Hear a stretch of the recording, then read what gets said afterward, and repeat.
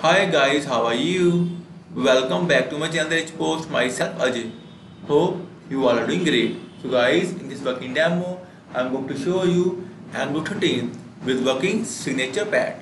So guys, before showing you working demo, I must say please pause the video till the end and please subscribe my channel for latest Angular updates. So guys, here we go. So guys, first I will show you working demo and see Angular is working fine. And now I'm going to show you demo. Here's my signature pad. And now I will do signature. See guys. Ajay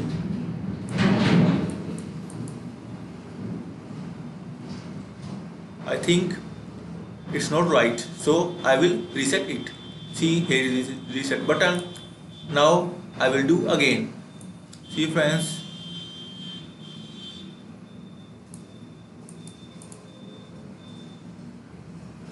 So guys, have you seen? It's worked well.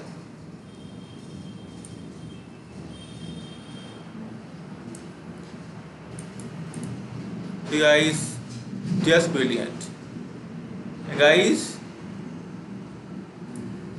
I will use this into my PDF format and that will be in Angular 13.